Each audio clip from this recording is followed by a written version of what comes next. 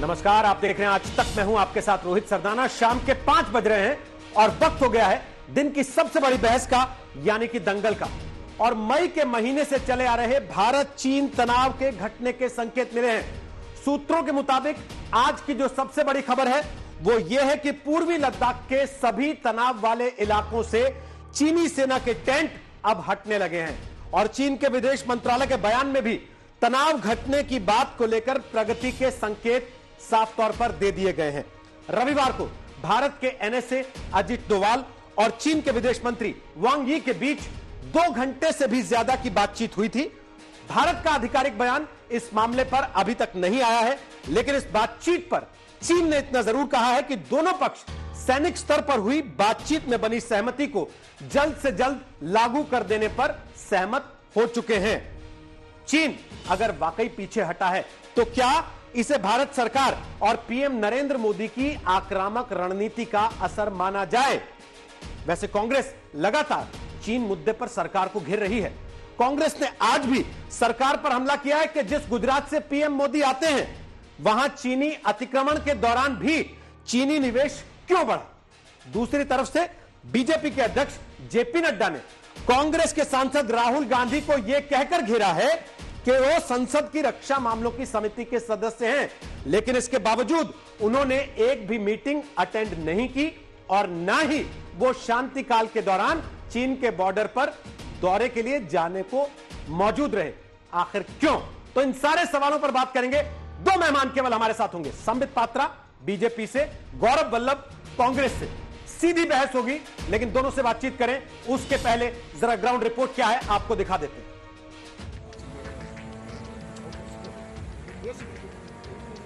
चीन की सेना के कदम पूर्वी लद्दाख में पीछे हट रहे हैं। गलवान के पीपी 14 से चीनी सेना ने टेंट और स्ट्रक्चर हटाए हैं। सूत्रों के मुताबिक गलवान के साथ साथ हॉट स्प्रिंग और गोगरा में भी चीनी सेना पीछे हटी है।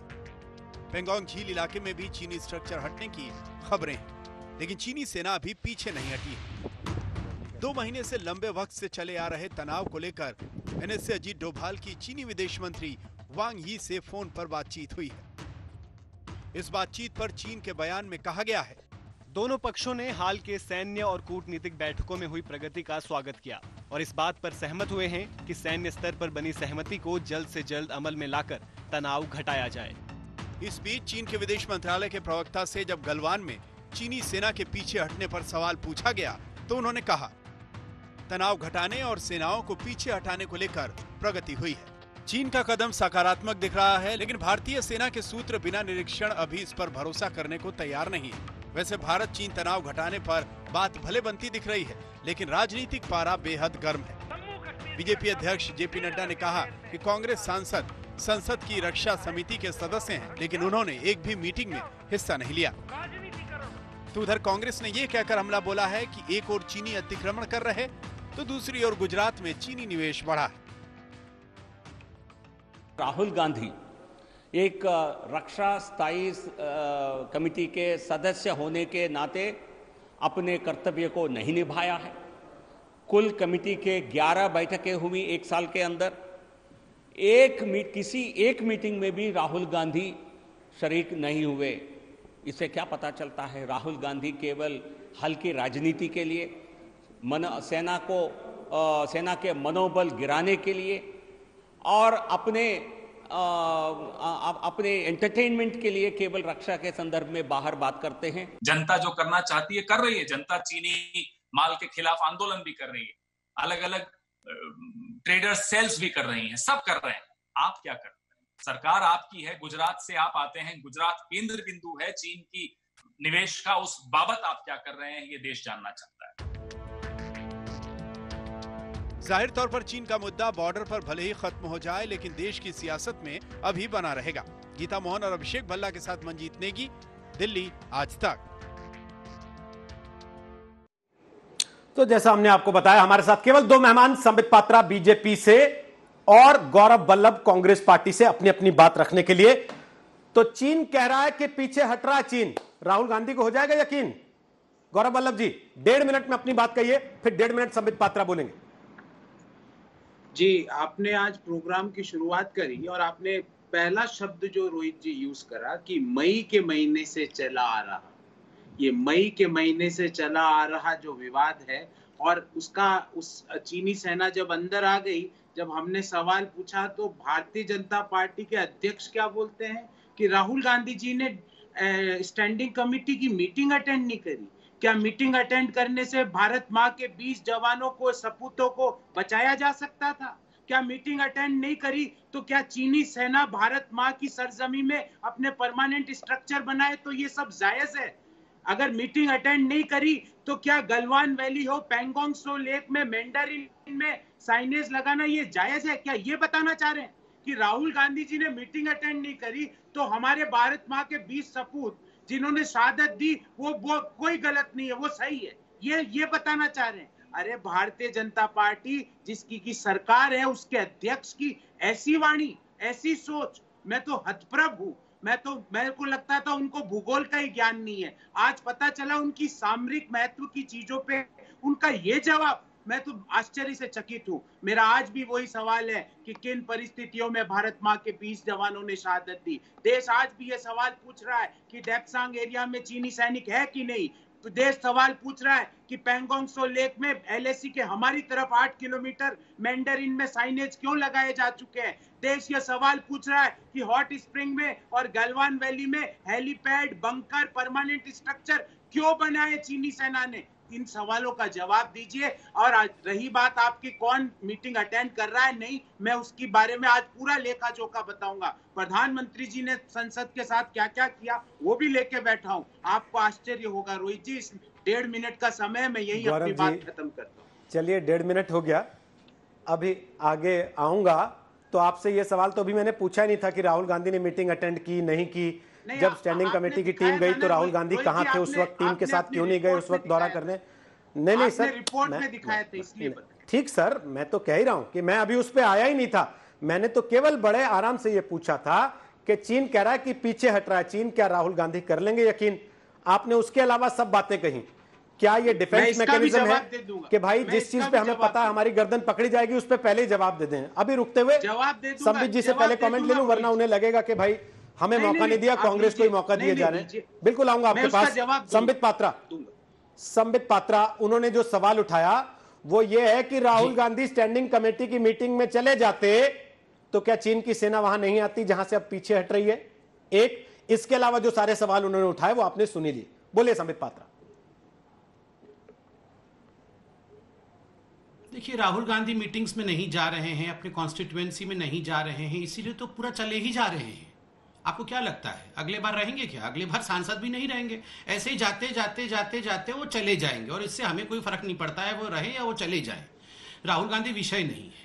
और देखिए, हमारे राष्ट्रीय अध्यक्ष नड्डा जी के ज्ञान, भूगोल और उनके बाकी ज्ञान के ऊपर आप लोगों को कमेंट करने की आवश्यकता नहीं है। जिसके अध्यक्ष को, उस समय अध्यक्ष थे जिसके अध्यक्ष को एनसीसी का फुल फॉर्म पता नहीं है, वो दूसरों का ज्ञान थर्मोमीटर लेके चेक करने की, ज्ञानोमीटर लेके चेक करने की आवश्यकता नहीं है। पहले अपने अध्यक्ष को एनसीसी का फुल फॉर्म सिखाइए। देखिए रोहित जी, ये जो 10-12 दिन से डिबेट चल रही है, कांग्रेस बीजेपी कांग्रेस बीजेपी किस लिए डिबेट चल रही थी? इन्होंने कहा कि सूत्रों के हिसाब से सोर्सेज बता रही हैं कि हमारे ज़मीन पे कब्जा हो गया है। आज मैं टीवी देख रहा हूँ। आज आप लोग कह रहे हैं और मैं अभी हिंदू का टाइम्स ऑफ़ इंडिया का, इंडिया टुडे का सब कटिंग लेके बैठा हूँ।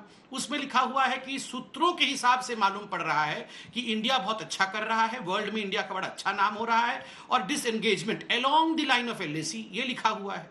सूत्रों के हिसाब से लिखा हुआ है। ये तो मैं नहीं जानता हूँ, क्योंकि एमईए ने अभी तक कुछ बताया नहीं है और ना ही मैं कुछ प्रियम्प्ट करूँगा। तो उस समय सूत्र ठीक थे। अब सूत्रों के ऊपर चुप्पी है। इस प्रकार की राजनीति हिंदुस्तान देख रहा है। हिंदुस्तान कोई सवाल नहीं पूछ रहा है। मैं आपको ये जो बार बार कह रहे हैं ना, देश सवाल पूछ रहा है, देश सवाल पूछ रहा है। Rahul Gandhi is not equal to देश। राहुल गांधी देश के पर्यायवाची शब्द नहीं है और ना ही गांधी परिवार पर्यायवाची शब्द है देश के। देश कोई सवाल नहीं पूछ रहा है क्योंकि देश जानता है कि किन मज़बूत हाथों में देश का बागडोर है। मैं आज पूछता हूँ मैं नहीं नहीं सुनिए ना इनका जो मोटो है राहुल गांधी जी का वो मोटो है काम न करना। काम न करना काम का केवल ज़िक्र करना और ज़िक्र का केवल फ़िक्र करना। कोई देखिए जो तेरह मीटिंग के बारे में बात हो रही है ग्यारह मीटिंग के बारे में बात हो रही है, काम ना करना क्या होता है? आप स्टैंडिंग कमेटी के मेंबर हैं। आप मीटिंग में नहीं जाएँगे, ऊपर से बोलेंगे मीटिंग में नहीं जाते तो क्या होता? ये क्या बीस जवान शहीद होते? मीटिंग में जाते तो क्या होता? क्या बहुत बढ़िया हो जाता? अरे भैया, अगर सारे पार्लियामेंटेरियन अपने अपने घर में बैठ जाएँगे, कोई बिल भी पारित नहीं होगा, कोई पास नहीं होगा तो क्या होता? तो फिर ये सब सारे रक्षा मसौदे नहीं खरीदे खरीदे जाते। टैंक नहीं होती आर्टिलरी नहीं होता बंदूक नहीं होता विमान नहीं होते तो फिर कैसे लड़ते? ओके। इतना तो बुद्धि होनी चाहिए ना कि इतनी बुद्धि भी हम ले लेके डिबेट में आके ठीक। इनको देंगे हर दिन ठीक है ओके। गौरव बल्लभ वैसे बात तो बताइए जी। कि जाते क्यों नहीं मीटिंग में? ट्विटर पे तो वो इतना हल्ला मचाए हुए हैं। लेकिन जहाँ जाके बोलना चाहिए था जहाँ जाके सरकार का कॉलर पकड़ना चाहिए जहाँ बैठ के वो फैसले लेने की स्थिति में हो सकते हैं या फैसले रोकने की स्थिति में हो सकते हैं वहाँ से वो गुम रहते हैं। क्यों? आ, इन्होंने कहा कि आ, मीटिंग में जाना चाहिए था। भारत के प्रधानमंत्री जी 2018 वर्ष 2018 में टोटल राज्यसभा और लोकसभा में कुल मिला के 24 घंटे उपस्थित रहे पूरे साल में। ये रिकॉर्ड है। ये भी गिनीज रिकॉर्ड बनाया। और एक राज्य के चुनाव में वो पाँच दिन तक चले गए। पाँच दिन उस राज्य के चुनाव में चले गए। पर लोकसभा और राज्यसभा में भारत के प्रधानमंत्री 2018 में 24 घंटे उपस्थित रहे, दोनों सदनों में मिला के। भैया, वो मीटिंग में क्यों नहीं गए पात्रा जी? मीटिंग में तो जाना चाहिए था। संसद में तो प्रधानमंत्री जी को उपस्थित रहना चाहिए था। संसद की तो डेट्स प्रधानमंत्री जी से पूछ के उनसे, उनका, आगे का प्लान लेके डिसाइड होती है। क्यों नहीं गए? क्यों घूम रहे थे? क्यों विदेशों के दौरे कर रहे थे? क्यों उन देशों के दौरे कर रहे थे? जो आज हमारे साथ में भी नहीं खड़े हैं। हमारे देश के करदाताओं के करोड़ों रुपए लगा के चौवालीस देशों के दौरे क्यों कर रहे थे? पात्रा जी इसका जवाब दे दीजिए। दूसरी बात आपने तो क्योंकि प्रधानमंत्री विदेश यात्रा पर थे इसलिए राहुल गांधी स्टैंडिंग कमेटी की मीटिंग में नहीं, मैं- जाते। मैं- या जब दौरे पे जाती है कमेटी तो वो साथ में नहीं जाते। वो अपना विदेश निकल जाते हैं। मैं मैं आपको क्योंकि पीएम विदेश गए हैं। रोहित जी रोहित जी मैं आपको एक चीज़ पूछ रहा हूँ कि आज मुख्य मुद्दा क्या है?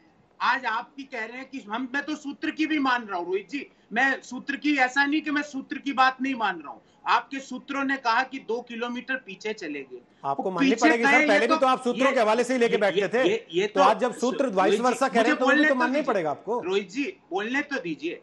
अब वो दो किलोमीटर हाँ, पीछे चले गए। मुझे मुझे एक चीज़ बताइए रोहित जी जो दो किलोमीटर पीछे गया वो दो किलोमीटर आगे आया होगा जब पीछे गया ना? बिना आगे आए पीछे जा सकते हैं क्या? हालाँकि इनके यहाँ तो लॉ ऑफ़ ग्रेविटी को भी इनके मंत्रियों ने चेंज किया हुआ है ये कुछ भी कर सकते हैं। बिना आगे आए पीछे क्यों गए? तो प्रधानमंत्री जी हैं देश के मुझे अच्छा, गौरव रोहित जी। आप- आप मुझे एक बात बताइए। एक एक वाक्य वल्लभ जी, एक बात बताइए। एक बात रोहित जी मेरे एक सवाल पूछ लूँ आपसे।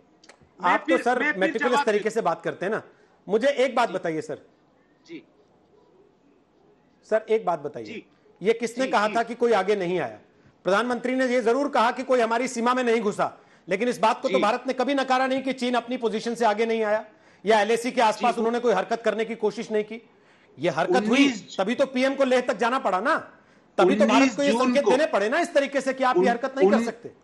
19 जून को रोहित जी माननीय प्रधानमंत्री जी हैं मेरे और आपके हम सबके देश के प्रधानमंत्री जी हैं। मुझे कष्ट हो रहा है ये बोलते हुए कि वो झूठ बोलते हैं। 19 जून को वो बोलते थे कि ना कोई घुसा है ना कोई घुसा हुआ है। अरे भाई कोई घुसा हुआ ही नहीं है तो पीछे कहाँ जा रहा है? कोई भाई यही बात तो मैंने भी कही कि आप इसी का हवाला दे रहे हैं। अगर तो उस बात को तो उन्होंने साफ़ साफ़ कहा ना कि सीमा पार करके कोई नहीं घुस पाया आपके देश में। तो ये और ये- उनको ये- रोकते हुए हमारे देश के जवान शहीद हुए। एक चीज़ या तो आप बताइए आप आप रोहित जी एक चीज़ या तो गौरव जी गौरव जी एक एक। कहावत है if you can't convince them confuse them क्या आप लोग इस पॉलिसी पे चल रहे हैं कि भाई हमसे कन्विंस तो कोई हो नहीं रहा? है तो अपन एक काम करते हैं पब्लिक को कंफ्यूज करके रखते हैं बरगलाते रहते हैं। रोहित जी ये कांग्रेस सवाल नहीं पूछ रही है। जनरल वीपी मलिक भूतपूर्व सेनाध्यक्ष पूछ रहे हैं। Lieutenant general Hooda lieutenant general Panag lieutenant general Prakash Menon अब बड़े रक्षा विशेषज्ञ जैसे कि ब्रह्मा चेलानी जी वो कह रहे हैं डेपसांग में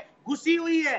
भारत की साइड ऑफ़ एलएसी में घुसी हुई है। गलवान वैली में 423 meter our side of LAC में घुसी हुई है। और तो और रोहित जी भारत के राजदूत है जो चीन में वो कह रहे हैं भारत की साइड ऑफ़ एलएसी में घुसी हुई है। और प्रधानमंत्री जी कहते हैं घुसे भी नहीं है। अब दुख होता है ना रोहित जी प्रधानमंत्री को ये बोलते हुए कि प्रधानमंत्री झूठे हैं। ये दुख होता है मुझे ये बोलते हुए। कष्ट तो होता है। कोई अभिमान की बात नहीं तो है इस- कि भारत इस जैसे दुख- मज़बूत देश इस के दुख की वजह प्रधानमंत्री से- झूठे हैं। नहीं नहीं तो ये ये दुख है ये दुख है जो रोक लेता राहुल गांधी को स्टैंडिंग कमेटी की मीटिंग में जाने से या वहाँ दौरे पर जाने से शांति काल में जब देश की सरकार या स्टैंडिंग कमेटी के मेंबर्स ये देखते और दिखाते हैं कि वहाँ की मौजूदा स्थिति क्या है इस दुख में नहीं जाते वो। रोहित रोहित जी जब 2014 से 19 की स्टैंडिंग कमेटी ऑफ़ डिफेंस की कई कमिटीज की मीटिंग में राहुल गांधी जी ने प्रेजेंस दी है और बढ़ चढ़ के हिस्सा भी लिया आपके जानकारी में आपको होगा ज़रूर क्योंकि आप बहुत रिसर्च करके आते हैं ऐसे शो नहीं करते आप मुझे पता है अच्छे से। ये दो 2019 के बाद जो नई तो क्या हुआ? फिर उनको चाय अच्छी नहीं लगी बिस्कुट अच्छा नहीं लगा जो उन्होंने जाना बंद कर दिया। क्या हुआ? नहीं नहीं जाने बंद करने की बात नहीं है। मैंने तो सवाल पूछा कि भारत के प्रधानमंत्री जी संसद में क्यों नहीं आते? उनको संसद से ऐसी क्या घृणा है कि 2018 में तो मतलब जैसा पीएम बिहेव करेगा वैसे राहुल गांधी बिहेव करेंगे। एक, एक राहुल गांधी पीएम के नक्शे कदम पर चल रहे हैं। प्रधानमंत्री अगर चार देशों की दौरे पे जाता है तो राहुल गांधी कहेंगे कि मैं भी जा रहा हूँ क्योंकि इस देश का पीएम गया तो हुआ एक सवाल मैं मनमोहन सिंह जाते थे तब भी निकल जाते थे क्या राहुल गांधी ऐसे? आ, आपके माध्यम से संबित पात्रा जी से एक सवाल पूछ रहा हूँ कि जिस देश के हमारे मज़बूत देश के हाँ, प्रधानमंत्री लीजिए। जब 18 घंटे काम करते हैं एक दिन में और वो संसद के सत्र में टोटल पूरे साल में मात्र 24 घंटे उपस्थित रहते हैं। राज्यसभा और लोकसभा कहाँ घूमते रहते हैं? चम्बालीस देशों की यात्रा में क्या पाया देश ने? 18 बार झूले खाए चीनी राष्ट्रपति के साथ क्या पाया? डोकलाम में परमानेंट स्ट्रक्चर बन गए गलवान वैली में हेलीपैड बन गए या पेंगोंग सो में अब ये तो रोज वाली बात पे आ गए ना सर। ठीक ये ये डायलॉग रोज वाला हो गया गौरव जी। अब समय समय थोड़ा कंट्रोल करते हुए ना ये तो रोज वाला डायलॉग हो गया ना। ये शुरू में बोल भी चुके आप तो- संबित पात्रा। रिपीट टेलीकास्ट नहीं मुद्दे की बात। जो उन्होंने सवाल उठाया कि पीएम इतने देशों की यात्रा पे चले गए पीएम संसद में कुल जमा 24 घंटे रहे लेकिन चुनाव प्रचार में पाँच दिन चले गए एक राज्य में। तो राहुल गांधी क्यों नहीं जा सकते भाई? बोलिए। मैं मैं सारा डाटा भी लेके आया हूँ। और सारे सवाल, मैंने सारे सवाल इनके लिख लिए हैं, थोड़ा समय दीजिएगा, बोलता हूँ। पहले तो इन्होंने कहा कि 2014 से 19 के बीच में राहुल गांधी बहुत सारी डिफेंस स्टैंडिंग कमेटी के मीटिंग में चले गए थे। 2014 से 19 के बीच में Rahul Gandhi was the member of parliamentary standing committee on external affairs for five years पाँच वर्षों तक वो एक्सटर्नल अफेयर्स कमेटी के मेंबर थे। 86 मीटिंग हुई पाँच वर्षों में और नौ मीटिंग में राहुल गांधी की शिरकत हुई। अटेंडेंस शीट लेके आया हूँ। वेरीफाई कर लीजिएगा। 10 प्रतिशत उनका अटेंडेंस शीट था नंबर एक। नंबर दो, ग्यारह मीटिंगें हुई थी डिफेंस कमेटी की। मैं डेट भी लिखा हुआ है, ग्यारह बार मैं डेट पढ़ूँगा नहीं, मैं पहली meeting twenty seven nine two thousand nineteen को हुई थी और लास्ट बारह मार्च 2020 को हुई थी। ग्यारह बार में सात बार राहुल गांधी बैंकॉक में थे। बैंकॉक में डेट के साथ बता दूँगा और यह भी हम रिलीज़ करेंगे। बैंकॉक में थे। बैंकॉक में क्या कर रहे थे?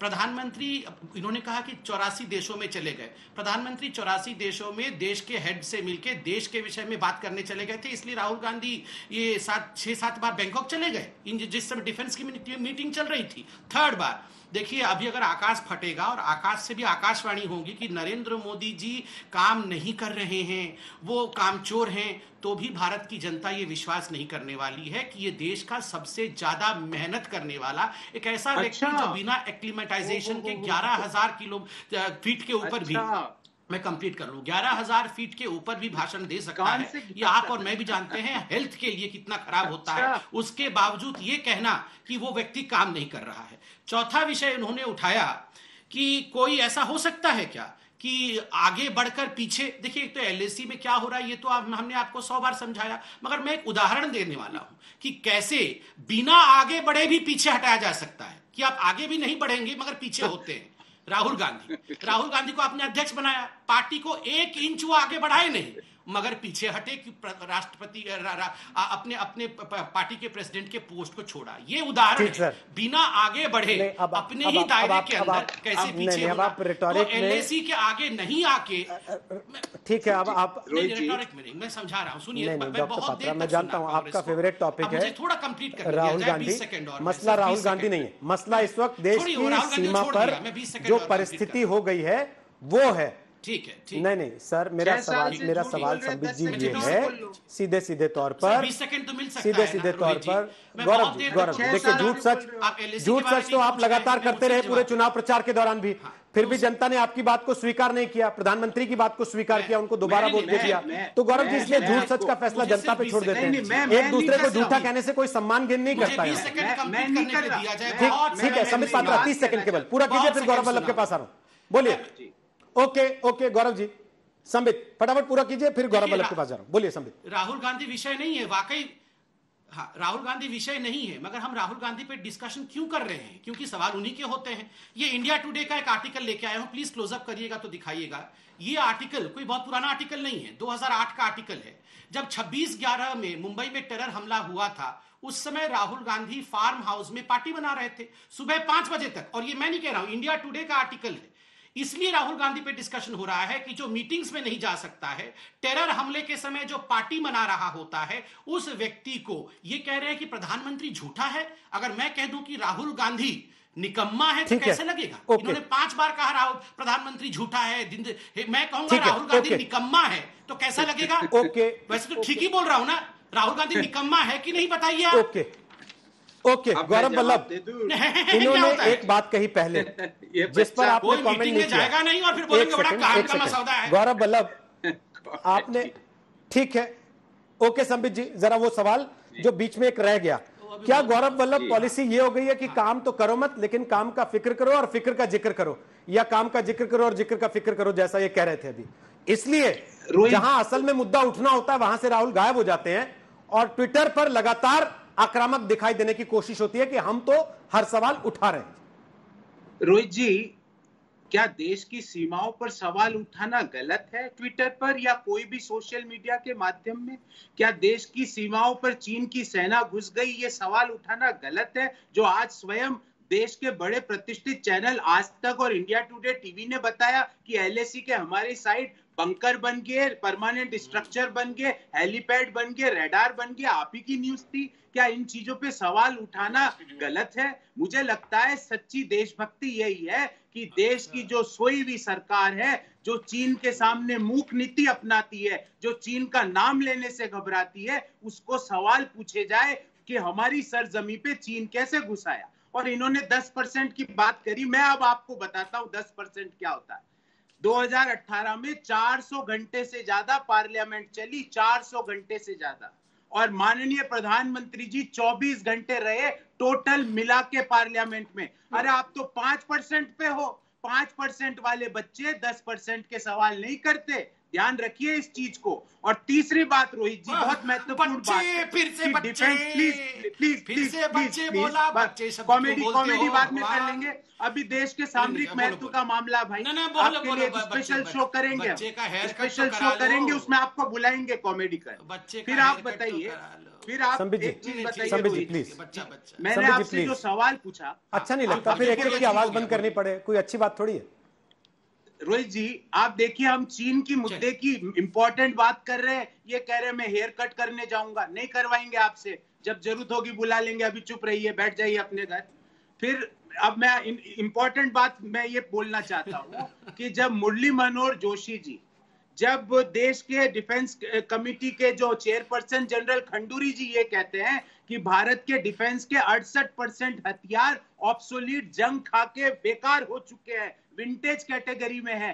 प्रधानमंत्री कार्यालय को वो चिट्ठी लिखते हैं मुरली मनोहर जोशी जी कि देश में बासठ के बाद आज तक का सबसे कम डिफेंस बजट का एलोकेशन है। जनरल खंडूरी पीएमओ से मिलके आते हैं कि अड़सठ परसेंट हथियार विंटेज कैटेगरी के हैं। आप चुप हो जाते हो आप कुछ एलोकेशन ही नहीं करते। देखिए ये परसेंट बताइए लेकिन बासठ मत जाइए फिर। बासठ आपकी ही रह गए फिर कोई पैर रख देगा फिर आपको दिक्कत होगी कोई दिक्कत नहीं है। आप बार-बार खुद ही 62 पे चले जाते हैं। अरे रोहित जी बासठ के बाद अभी परसों जे जे 70 सिंह साहब बैठे थे यहाँ बासठ और वो बोल रहे थे कि बासठ की लड़ाई में प्रधानमंत्री एक जगह के दौरे पर थे विदेश के रक्षा मंत्री दूसरे देश के दौरे पर थे और सेना का चीफ छुट्टी मना रहा था श्रीनगर में।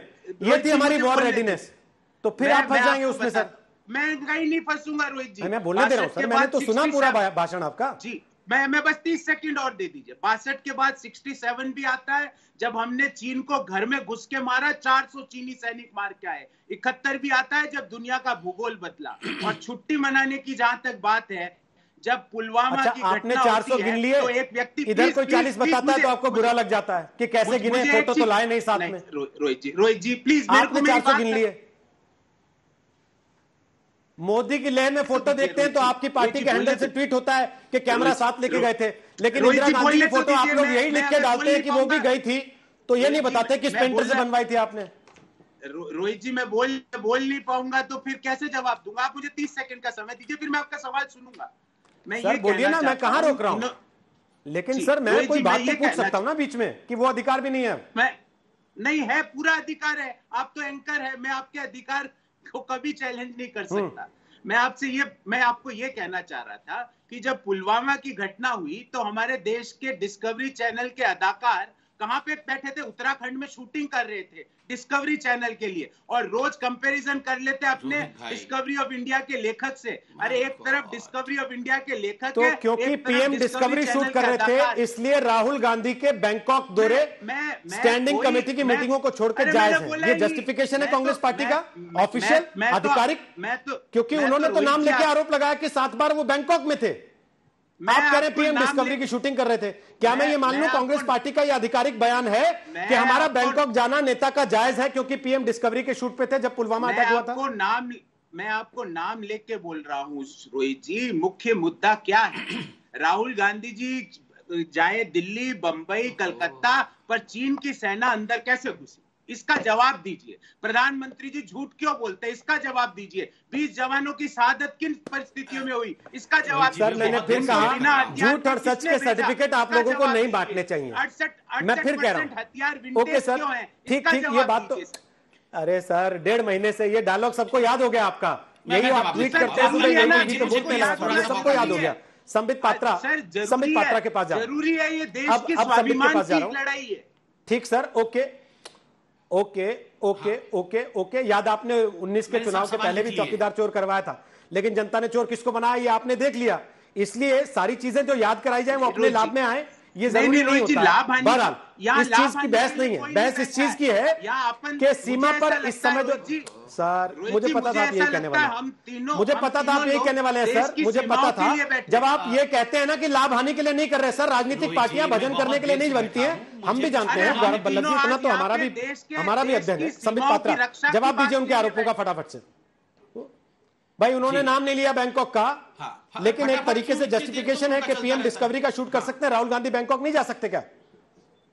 ठीक सर संबित जी बोलिए ना आपका भी बहुत देर चल रहा था बैंकॉक में सर बोलिए। जाके हमें कोई आपत्ति नहीं है मैं जवाब दूँगा दूँगा दूँगा। हाँ कोई बात नहीं कोई बात नहीं। देखिए मैं एक वीडियो दिखाता हूँ दस सेकंड का वीडियो है देख लीजिए। देख क्योंकि इन्होंने हमारे देश सर कोई जवाब नहीं दे पाऊँगा देखिए इन्होंने हमारी देशभक्ति को लेकर सवाल उठाया। चल रहे हैं आपके कॉमेडी के। एक सेकंड जरा आप अच्छा एक एक करके ना गौरव जी देखिए आपके बीच में बोले मैंने उनको टोका उसके बाद वो चुप रोहित जी आपको भी सुन लेना चाहिए। हाँ। है ना? प्लीज़ वरना अच्छा नहीं लगता सर एक की आवाज़ खुली हो एक की बंद हो। बड़ा अजीब सा लगता। है एक एक करके बोल लीजिए अपनी अपनी बात दोनों। मैं बीच में टोका टाकी करता रहूँगा करने दीजिए मुझे? टोका टाकी समित पात्रा बोलिए अपनी एक बात। मैं एक वीडियो दिखा रहा हूँ। इन्होंने कहा कि देश देशभक्ति की बात की ये वीडियो देखिए Would, would I like to go and live in China? Uh, the answer is yes. It's a beautiful place, wonderful place. ये जो मैंने आपको वीडियो भी दिखाया है ये वीडियो सलमान खुर्शीद का है 2013 में जब इसी प्रकार का एक व्यवस्था बना था चाइना के साथ स्टैंड ऑफ़ चल रहा था सलमान खुर्शीद को भेजा गया था बीजिंग बीजिंग से आते ही जब प्रेस कॉन्फ्रेंस हुआ तो उन्होंने कहा बीजिंग इतनी सुंदर थी इतने अच्छे फूल खिले हुए थे, टिनामेंट स्क्वायर इतना सुंदर था कि अगर मुझे मौका मिलता तो मैं वहीं बस जाता। आप सोचिए जरा। रोहित जी, ये कोई साधारण विषय नहीं पूछ रहा हूँ। यहाँ ये तेरह बार मीटिंग में, ग्यारह बार मीटिंग में आए, नहीं, बैंकॉक चले गए। ये तो आपको लग रहा हो कि मज़ाक में बोल रहे हैं। ये कोई बहुत महत्वपूर्ण विषय नहीं है, ऐसा ये दिखाने की कोशिश कर रहे हैं। देश का विदेश मंत्री जब एस्केलेशन चल रहा हो वो ये कह रहा हो कि मैं बीजिंग जैसे सुंदर शहर में वहीं बस जाना कोई इटली में बस जाना चाहता है कोई बैंकॉक में बस जाना चाहता है कोई बीजिंग में बस जाना चाहता है यही होने वाला है कांग्रेस पार्टी का याद रखिए। ये जिस प्रकार से मोदी जी के ऊपर घृणा कर रहे हैं ये अलग अलग शहरों में अलग अलग देशों में ही अच्छा। जाके बसेंगे यही लग रहा है। दूसरी बात इनका प्रश्न था? हाँ हंस लो पूरा। इनका इनका प्रश्न था कि सारा सारा जो है विंटेज हो गया। अड़सठ प्रतिशत या सत्तर प्रतिशत ये जो हमारे पास जनरल असला है ये सब विंटेज है। विंटेज कैसे होता है रोहित जी? नहीं कैसे विंटेज कैसे बनता है रोहित जी? किसी कार को तो आप विंटेज खरीद के नहीं लाते हैं। आप उसको आप आ, आप उसको डेढ़ सौ साल से रखते हैं तब जाके वो विंटेज बनता है। तो 2014 में अचानक तो विंटेज जनरल खंडूरी 2014 में अचानक तो विंटेज नहीं बना होगा। मतलब सोचिए ये माँ बेटे ने विंटेज रखा हुआ था सारा कुछ विंटेज रखा हुआ था जैसे नई गाड़ी रफेल आई। एक मिनट में कंप्लीट कर लूँ प्लीज़ जैसे रफेल आई ये नहीं चाहते थे रफेल आए। इसीलिए उस समय भी जिस प्रकार का झूठ फैलाया था, ये चाहते नहीं थे कि देश का अपग्रेडेशन हो। 2008 से रोहित रोहित भाई अब आप देखो रोहित भाई ये अतिक्रमण है मेरे एलएसी का। मैं शांति से बैठ जाऊँ आप ये बोले या आप, जैसा अनुमति मैं ये कह रहा हूँ जनरल करके बोल लीजिए खंडूरी जी का स्टेटमेंट है। आप ही के सवाल का जवाब दे रहे हैं। भाई वो मतलब जनरल खंडूरी जी का ही नाम लेके कह रहे हैं कि है? आपके तो हूँ। अध्यक्ष और उनकी माता दे जब सत्ता में थे तो उस समय खरीद में इतना देर लग जाती थी कि विंटेज हो जाता था। वो आप ही पर आरोप लगा रहे हैं पलट के। उन्हीं खंडूरी साहब का हवाला देते हुए जिनका आपने सवाल उठाया है। तो पहले वो पूरा कर लें जवाब फिर आप आ जाएँगे गौरव जी। हाँ, क्योंकि और तो कोई है नहीं आप ही दोनों हैं। तो किसी का समय तो जाएगा नहीं। संबित पूरा कीजिए। देखिए रोहित भाई आप सोचिए खुद इन्होंने अपने मुँह से कहा है कि सारा का सारा हमारा असला लगभग सत्तर प्रतिशत विंटेज था। मैं आज सवाल पूछ रहा हूँ विंटेज बनने क्यों दिया? क्योंकि मैं बताता हूँ इनके डिफेंस मिनिस्टर का आधिकारिक बयान है no development is the best policy no border infrastructure अच्छा। बॉर्डर में कोई इंफ्रास्ट्रक्चर अच्छा। मत बनाओ बिकॉज़ चाइना इज़ सुपीरियर उन्होंने खुद कहा है because China is superior because उनका पॉलिसी था नो वर्क नो हेडेक खाली कमीशन अच्छा, खाओ कमिटी में मत जाओ। 2008 में और उस अब अब संबित जी मुझे एक बात बता दीजिए। मेरे समय सब बीच में बोलते हैं। नहीं नहीं हाँ आप पूछ लीजिए पूछ लीजिए। सर मैं तो उनके बीच में भी बोल रहा था। पूछिए रोहित जी। मैं पूछ रहा हूँ ना सवाल। आपको ये बुरा लग रहा है कि सलमान खुर्शीद विदेश मंत्री थे है वो चीन जाके आए बड़े खुश हो गए। और उन्होंने चीन की हाँ, तारीफों के पुल बाँध दिए। सर आप चीन की तारीफों के पुल नहीं बाँध रहे एस्केलेशन टाइम में। हाँ। लेकिन गुजरात में सबसे ज़्यादा चीनी निवेश हो रहा है। उसी एस्केलेशन के टाइम में, जिसका आरोप आज कांग्रेस पार्टी ने आपके ऊपर लगाया है। तो जैसे वो गलबैया या फूल के हाथ डालना चाह रहे थे, वैसे आप डाल रहे हैं। वो मुँह से डाल रहे थे, आप निवेश देके डाल रहे हैं। फ़र्क क्या है दोनों में?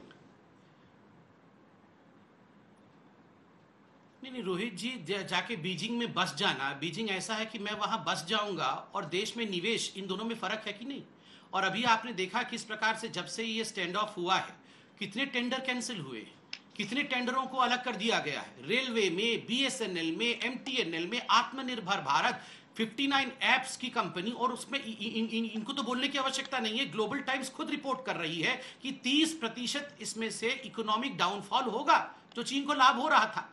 तो ये कर रहे हैं ना? सरकार कर रही है ना? बीजिंग में बस जाना बीजिंग से 2008 में एमओयू साइन करना और उसके बाद Chupke Chupke under the table माँ बेटे राजीव गांधी के मरहूम पति और मरहूम पिता के नाम पे पैसे खाना चीन की सरकार से उसमें और देश में इन्वेस्टमेंट में और उस टेंडर को कैंसिल करने में फ़र्क होता है रोहित जी।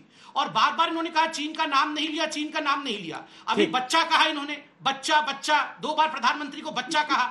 मैं एक बात कान खोल के सुन लो कांग्रेस के प्रवक्ता हूँ। जिसके घर में ऐसा बच्चा हो ना बार बार प्रधानमंत्री को बच्चा बच्चा मत कहना। अच्छा, हेयर कट करने आ जाऊँगा एक दिन क्योंकि हेयर कट करना कोई घृणित काम नहीं है।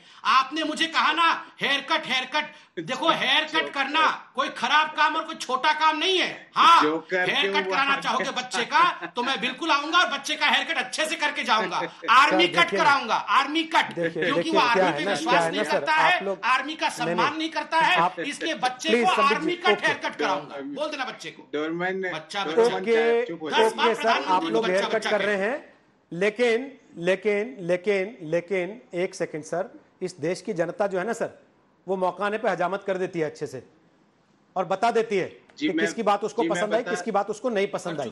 क्योंकि उस जनता को हर बार मौका मिलता है। गौरव बल्लभ अब बोलिए अपनी बात जो। आप बीच में लगातार बोल रहे थे। बोलिए। जी 2013 में इन्होंने 2013 का ज़िक्र किया, बोले एक्सक्लेशन हो रहा था। अरे भाई, जब हो रहा था तो भगत सिंह कोश्यारी काहे चले गए थे सीमा पर? क्या साइट सीइंग लद्दाख घूमने गए थे क्या रूडी जी को लेके? क्यों भेजा था उनको? क्यों प्रणब मुखर्जी के पास दल भेजा था राष्ट्रपति जी के पास? ये पता लगाने की कौन सा असला कौन सा बारूद है? क्या चीन के जासूसी कर रहे थे? चीन की जासूसी के पैसे मिल रहे थे? इसलिए कर रहे थे आपके फाउंडेशनों को। और बात करते हो आप राजीव गांधी फाउंडेशन के दुश्मन देश पे से पैसा ले रहे हो पीएम केयर में और पीएम केयर से धांधली कर रहे हो वेंटिलेटर खरीद में। पैसा लेते हो राजीव से पैसा ले रहे हो? शाओमी से पैसा ले रहे हो टिकटॉक से पैसा ले रहे हो पेटीएम से पैसा ले रहे हो ओप्पो से पीएम केयर में पीएम केयर से धांधली कर रहे हो। डेढ़ लाख की चीज़ चार लाख में खरीद रहे हो। पीएम मैंने इस बारे में राहुल राजीव गांधी और फाउंडेशन यहाँ के चालू हो गया कॉमेडी करना। आप अपने मिस्टर आप डोरेमोन कहते हो। मिस्टर डोरेमोन चुप आप जाइए कॉमेडी नहीं आपको पता है आपको पता है पीएम केयर और राजीव गांधी फाउंडेशन में फ़र्क क्या है? एक बार ये पूरा कर ले फिर आप बोलिएगा। एक ही के पास आऊँगा।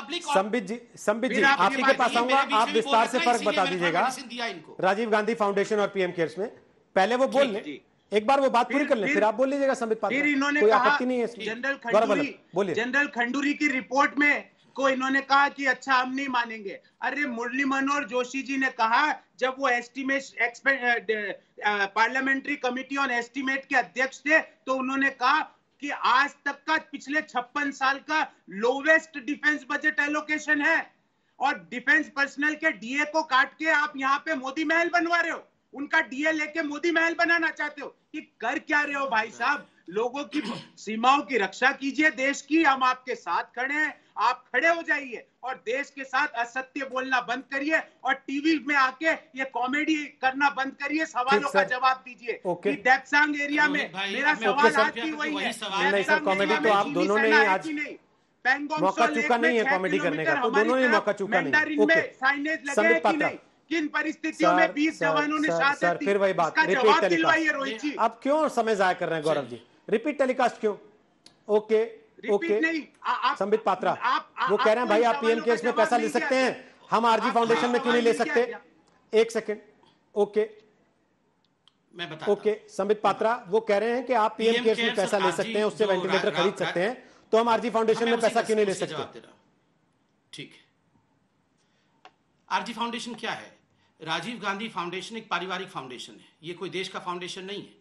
ये पारिवारिक फाउंडेशन है जिसकी अध्यक्षा सोनिया जी हैं और बाकी दो मेंबर उसके राहुल गांधी, प्रियंका गांधी और एक डॉक्टर मनमोहन सिंह है। और याद करिए, इन्होंने पीएम रिलीफ फंड से भी पैसा ले लिया था। चाइना से भी पैसा लिया था। चाइना की एम्बेसी से भी पैसा लिया था। इस पैसे का क्या करते हैं, ये कोई नहीं जानता है। ये फंड परिवार का है। पीएम केयर देश का फंड है। हाँ जाओमी और बहुत सारी कम टिकटॉक बहुत सारी कंपनियों का नाम लिया चाइनीज़ कंपनी थे इन्वेस्टमेंट चाइना का है। हमारी देश की ज़मीन पर ऑफ़िस बना के हमारे देश से करोड़ों खरबों इन कंपनियों ने कई वर्षों में कमाया है। अगर वो हमारे पब्लिक फंड में डोनेट करते हैं, जिससे गरीबों के लिए वेंटिलेटर लिया जाता है, माँ बेटे के लिए ऐसो आराम का सामान नहीं, उसमें क्या दिक्कत हो जाती है इनको? क्यों नहीं लेंगे भैया?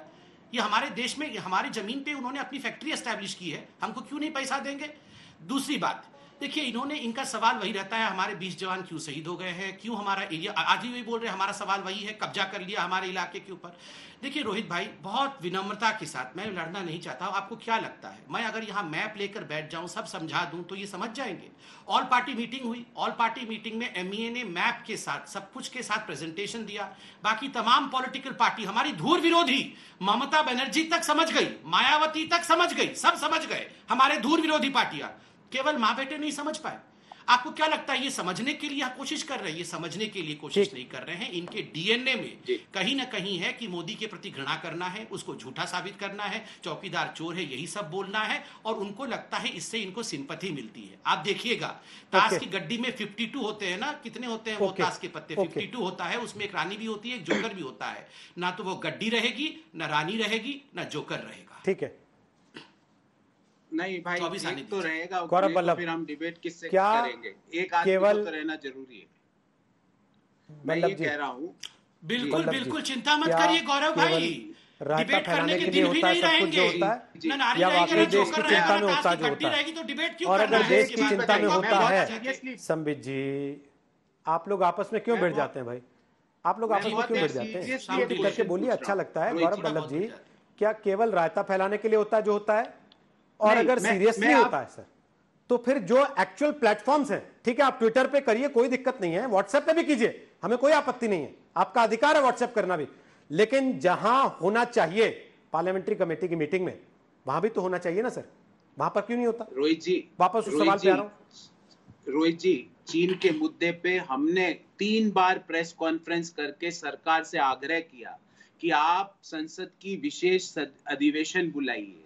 आप चीन के बारे में सच बताइए। हमने ऑल पार्टी मीटिंग में पूछा कि कितना कहाँ कहाँ चीनी सेना घुसी हुई है। प्रधानमंत्री जी जब पहले कहते थे कि ऑल पार्टी नहीं बुलाते। जब ऑल पार्टी बुला ली तो कह रहे हैं कि संसद का विशेष सत्र नहीं बुलाते। मैं तो लोग क्यों नहीं समझे कि आप असल में फैलाना ही चाहते हैं?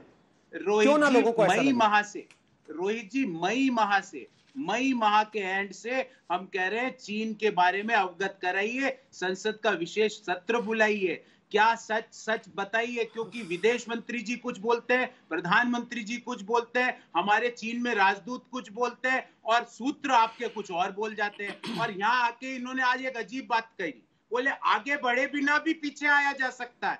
अब कुछ सच है या झूठ है ये तो ये डिसाइड कौन ये तो करेगा? फिजिक्स राहुल गांधी करेंगे तभी सच माना जाएगा? ये फिजिक्स के ये फिजिक्स के अथॉरिटी कौन है सर सेना है। मैं हूं- रक्षा मंत्रालय है प्रधानमंत्री कार्यालय है या दस जनपद अथॉरिटी अथॉरिटी कौन है? सच को सच मानने की या बताने की? अथॉरिटी हमारे देश की सेना है हमारे देश के प्रधानमंत्री है हमारे देश के विदेश मंत्री है हमारे देश के रक्षा मंत्री है हमारे देश के राजदूत है और पाँचों अलग अलग बात कर रहे हैं।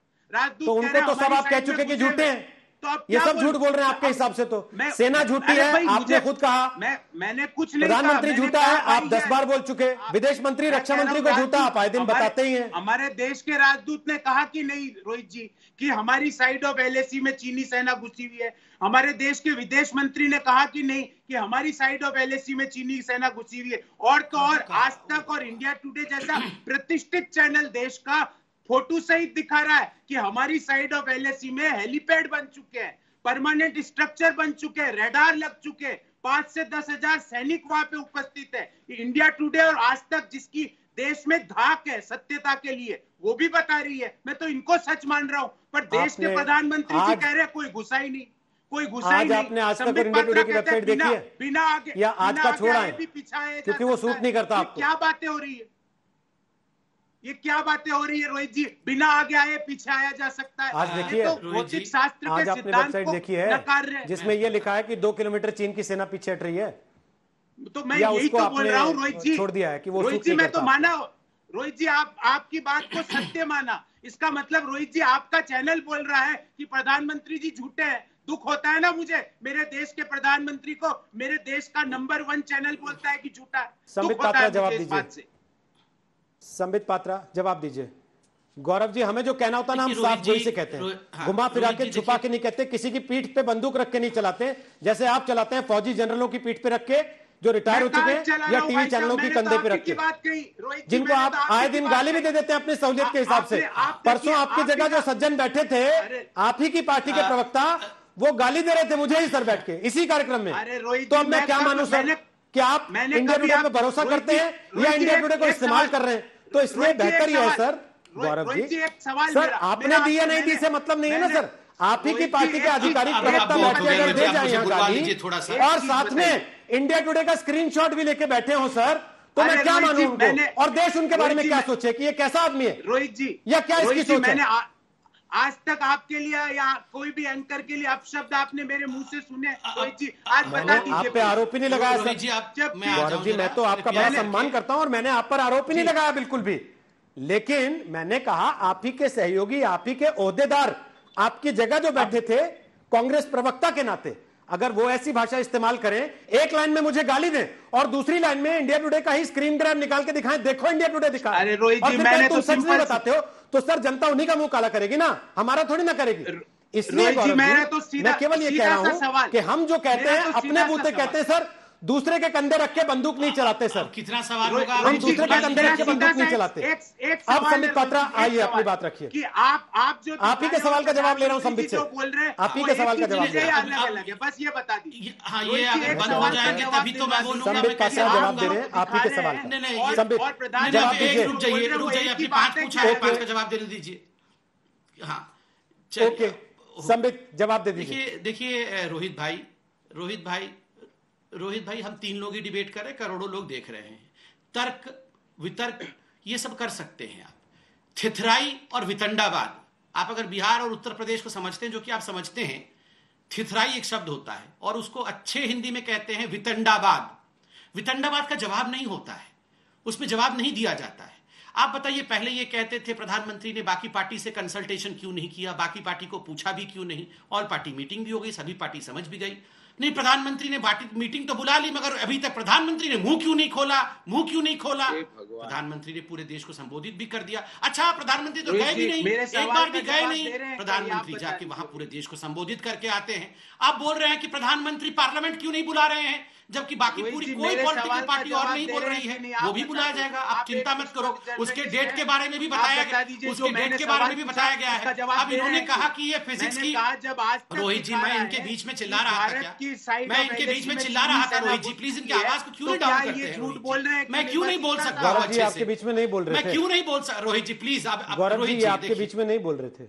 मैं आपको सुनते रहे वो लगातार रोहित रोहित जी बस मेरे सवाल पूरा का जवाब दिलवा देना आप चुप हो जाइए अब मैं समझाता हूँ।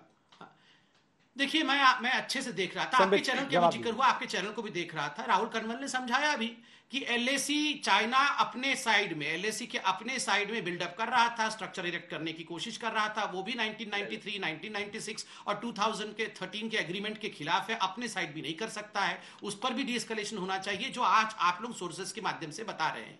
ये जबरन प्रूव करना कि इंडिया की मिलिट्री हार गई थी इंडिया की मिलिट्री ने सरेंडर किया था ये किस प्रकार सवाल क्या था? और इन्होंने मुझे फिजिक्स के बारे में पूछा। सुन लीजिए। एक सेकेंड एक सेकेंड रुक जाइए एक सेकंड रुक जाइए। इन्होंने मुझे फिजिक्स के बारे में कहा कि बिना आगे आए बिना इन्होंने फिजिक्स के बारे में फिजिक्स का कानून तोड़ दिया बिना आगे आए पीछे कैसे जा सकते हैं? मैं इतना कहूँगा देखिए कान खोल के सुन लो गौरव भाई आपको ये कॉमेडी लगेगी मगर सच बता रहा हूँ। तो राहुल गांधी जब से आए हैं उनकी बुद्धि एक इंच आगे नहीं आई है। चलिए सर समय समाप्त हो रहा है। समय समाप्त हो रहा है। सरकार लगातार कह रही है कि हम जवाब दे रहे हैं। न केवल जवाब दे रहे हैं बल्कि चीन पर दबाव भी बना रहे हैं। और चीन पर दबाव बना रहे हैं। सरकार का मुताबिक उसी का नतीजा है कि चीन अब पीछे हटने पर मजबूर हुआ है। विपक्ष पूछ रहा है कि जब आगे ही नहीं आया आपके मुताबिक तो फिर पीछे हटने की स्थिति कहाँ से आई है? ये कन्विंस करने में दिक्कत है या फिर कंफ्यूजन फैलाने में फ़ायदा है? उस चीज़ की राजनीति है। ये देश की जनता को तय करने के लिए हम छोड़ देते हैं। हमने सवाल यह पूछा था, क्या मोदी की आक्रामक रणनीति की वजह से चीन ने कदम पीछे खींचे हैं? जो इसके जवाब हमें मिले, उसमें नवासी प्रतिशत, यानी कि 89 परसेंट लोगों को लगता है कि हाँ, मोदी की आक्रामक रणनीति की वजह से चीन ने कदम पीछे और 11 प्रतिशत को लगता है कि नहीं, ऐसा नहीं